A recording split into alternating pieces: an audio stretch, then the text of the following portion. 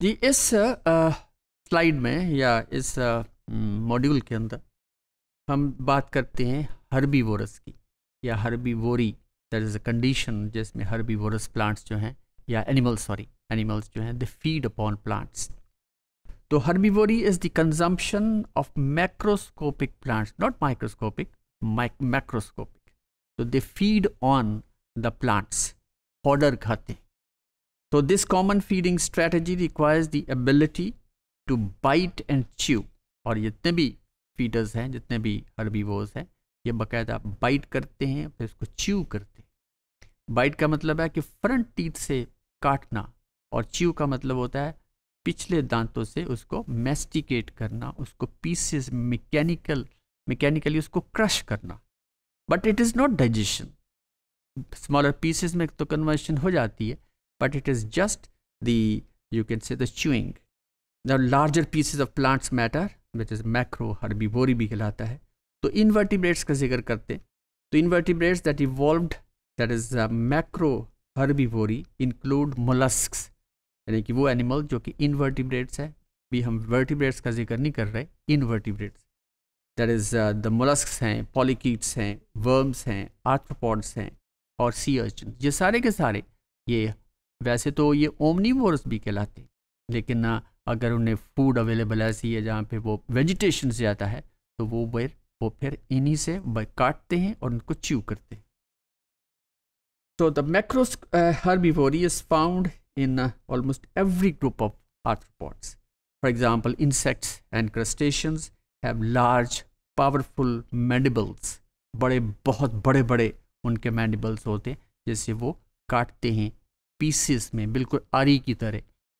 Now this capable of of biting of plant material and subsequently grinding and chewing it before before there is passing the plant material to the mouth तो बाकायदा ये, क्योंकि बड़े बड़े chunks नहीं खा सकते। पहले वो मेस्टिकेट करते हैं, उन्हें पहले काटते हैं, फिर उसको फर्दर उसको पहले बाइट करते हैं, फिर उसको च्यू करते हैं, फिर उसको बॉडी के अंदर ले जाते हैं। Now, many mollusks, they have radula इनमें ख़ास बात है इस मोलस्क के अंदर। और रेडुला जो है, ये क्या है? This is a muscularized that is belt like rasp armed with chitinous teeth ये बिल्कुल टंग की तरह है। उसके ऊपर फिर बहुत सारे ये टीथ लाइक स्ट्रक्चर्स हैं काइटिनस टीथ हैं, जिससे वो फिर बाकायदा चू करता है। तो mollusc use radula to scrape that is algae of rocks rocks के ऊपर जो एल एल जी लगी होती है, उसको इसी रेडुला के ज़रिए से वो फिर उसको वहाँ से स्क्रैप करता है और फिर वो माउथ में ले जाता है।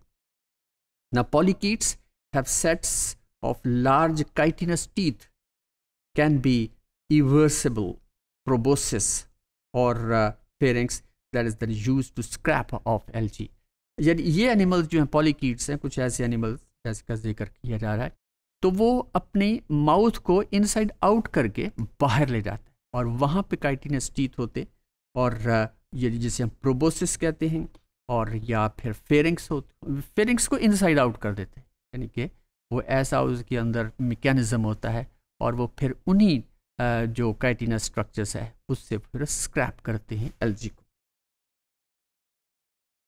दिस टूथ फेरिंग्स टूथ जिसकी ऐसा फेरिंग्स जिसके ऊपर टीथ हैं is also suitable for for carnivory when plant material scarce तो ये इसलिए ओमनीवोरस भी हैं, हर किस्म का मटेरियल खा जाते हैं प्लांट्स भी खाते हैं, छोटे एनिमल्स भी खा लेते हैं। तो अगर उन्हें वॉट देर प्लांट्स अवेलेबल नहीं हैं तो वो फिर कार्निवोरस टाइप हो जाते तो macros there is herbivory is found in almost every group of arthropods. They found in every group of arthropods. So, for example, insects and crustaceans have large, powerful mandibles capable of binding, uh, that is biting off plants. Plant को ये आपने देखा होगा आजकल जो locust है locust है वो भी आर्थ्रोपॉड से बिलोंग करता है तो ये इंसेक्ट है और ये फसलों की फसलें तबाह कर देता है और अगर आप जिस